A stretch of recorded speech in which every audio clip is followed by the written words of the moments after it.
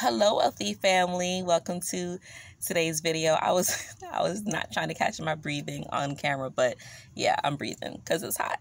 I'm hot. I'm out here waiting for my grandfather. He didn't caught me for the okey doke for the second day in a row and it's hot. I'm very hot.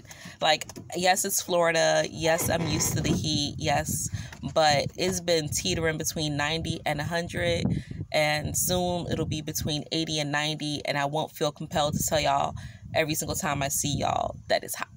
But your girl is hot. And not only is it hot but i'm a little irritated. And my irritation is very minor but i'm still gonna share it with y'all because it's my video. So one i'm irritated because it's so hot. It's so hot. I'd rather be cold because when i'm cold i can warm myself up. When i'm hot there's only so much clothes I can take off. There's only so much AC I can blast in order to kind of cool down. Okay. I don't like being hot. Two, I had to go to uh, the a place where I normally find the coconut guy and I've been going there. Like normally he's there a couple times a week, and then I was like, man, am I missing him? And I started going every day to see if I was missing him, and they were like, no, he just hasn't been up here, so I can't find my coconut guy. So I don't even have my coconut water to cool down my heart. Like, come on.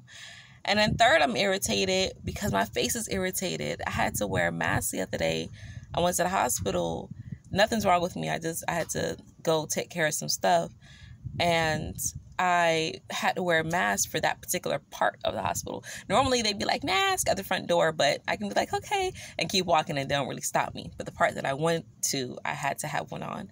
And of course I don't have none. So they gave me a blue one and Jesus Lord, that thing got my face. It's been like five days. My face is still irritated. I still got little bumps, pimples, whatever you want to call it. And that's not like me. So I'm irritated for that. I'm irritated. But anyway, I wanted to come and talk to y'all about this energy of today, of Friday the 13th. Okay. I did a blog post on it on my website um, www.ascendinginfinitegoddess.com. If you are subscribed and have an confirmed email, you should have received it. If not, just go ahead and check me out. Um, if you are subscribed and you did not get the email, it's because you did not confirm your email address, thereby giving me permission to email you. Okay, it's important that you do that. Um, so go ahead and, and check me out there. But I don't know if it was I think it was last year, um, I did a video on how to embody your divine feminine energy and your divine masculine energy. And I did that divine feminine energy on a Friday the 13th. And I briefly touched on the energy of today because I know traditionally we're taught that it's a day of bad luck and, you know, massacres happen and, you know, it's doom and gloom and be careful and whatever is horror story Michael Myers type stuff. But that's not what this day is about, okay? I mean, like everything else, they give you things in reverse, all right? For decades and eons, our ancestors saw Friday the 13th as a day to revere the divine feminine. Not just Friday the 13th, but the 13th, right? They saw it as a day to revere feminine energy, divine feminine energy, to praise the goddess within us all, not just us natural women, but the feminine energy within us all. I've broke down what your feminine energy is your creativity, your love, your emotions, right? We all have that. But with religion teaching us that, you know, women are evil and they, they're witches and they shouldn't do this and, you know, they're cursed and that's our we bleed and XYZ. Which, by the way, if that's the case, if women are ones who bleed or naturally should be able to bleed, then despite whatever they want to medically do, they want to transcribe, transform, trans around, whatever, that doesn't make you a biological woman. Now, in your mind, your mind makes you what you are. So if you believe that you're a woman, that's what you are. If you believe you're a man, that's what you believe you are because your mind will start to make you behave that way. So don't get me wrong. I mean, I recognize what it is that people are doing and saying, but you it's your mind. It's in your mind thing, okay? So what Friday, what the 13th or Friday the 13th now is actually revered as as a time to embrace and to celebrate the feminine energy, the creative energy, right? Revering Mother Earth because Mother Earth is feminine, right? That water energy, okay? That's why women, you know, can get wet, can excrete fluids when they are creating life for those who choose to create life in their biological wombs. It's the the child is created in water see all the reverse all the evil that's been shown upon us is because they recognize the power that we hold and they're afraid of it without women producing and multiplying on this earth. There would be no one. No one can enter this earthly plane unless it's through a womb. No biological human i should say can enter this earthly plane walk and survive here on this plane unless they entered through a womb that's why bloodlines are so important. Okay. So when you think of that, of the reverence that the divine feminine has, and the energy they have tried to attach to it, making it doom and gloom, you now see why the world has been in such turmoil. But guess what? The rise of the divine feminine is coming back. We're not to be forgotten. This year, 2021, is actually dedicated to divine feminine. Even the, the colors of this year is divine feminine colors blue, green, gold, right? All connected with that. And when you see that raising the divine feminine does not necessarily mean that you have to degrade the divine masculine because there's always a balance Remember, we have both energies. I am a divine feminine being, this avatar I chose to use, but I have masculine energy. As a matter of fact, I before I even knew anything, I really felt that I was a man in one of my past lives. And although I haven't had any past lives uh, remembrance of me being a man, my chart has heavy masculine energy.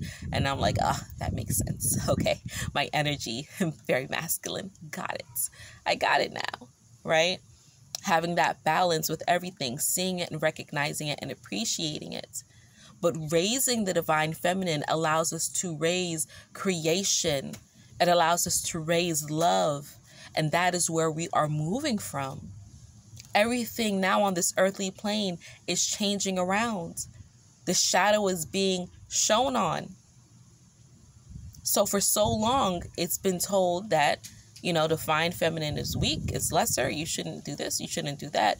We're not recognizing them, they're not teachers, they can't be leaders and equality. no. Understand that that could only go on for so long. And right now, it's coming to an end. But we have to do away with this toxic masculinity, or else we're going to have another issue of raising the divine feminine, suppressing the divine masculine, and now we're in balance again. See, the great thing with divine feminine is that we can touch every uh, of every being, but the power has to be known. I'm so thankful that I'm not hearing so much doom and gloom so much in the emails and in the shows that I'm seeing However, it is still out there in the collective consciousness that today is a bad day, an evil day. And subconsciously, even though many are not aware of it, they're still attributing that to certain traits. And now we're projecting that energy outward. We're projecting more that fear energy. And that's not what we want. So I just wanted to come and share some of this information with you so you understand the true things behind this divine day and take advantage of the beautiful, harmonious energy. Friday is naturally a feminine day, a day of love surrounded by goddess energy. Venus, Frigg, surrounded by goddess energy. Romance, that's why everybody's always happy on a Friday because subconsciously it's surrounded by love. That's where these people are getting their names from for the days of the week like Monday is Moon Day, emotional day, why so many people get very emotional, either negative or positive, to their benefit or detriment. Sunday, the day of the sun, when you should stop, you should reset, rest, bring in some abundance. That's why churches became so fruitful. The day of gold. And we can go on and on and on and on. But this day is naturally surrounded by love. And it's naturally a day that you should use to uplift and build the divine feminine energy. And when it's falling on a 13, when you have Friday the 13th, that's like a compound. That's like a beautiful magical portal that's opening for you to now hone in beauty, romance, healing, protection. What is it that you want? Put it out there. It's so ripe and it's so beautiful and it's so perfect for the taking. It's just waiting for you. So that's all that I wanted to share with you, wealthy family. Let go of this fear. It's a lie, it's a trap, what these people have been telling us for so long. It's a beautiful divine day. It's a day to remember your divinity, and it's a day to honor the divine feminine within you and around you. As a cricket's cosign. I love it. All right, wealthy family, I love you all. And until we connect again, stay alert, stay aware, and live in love.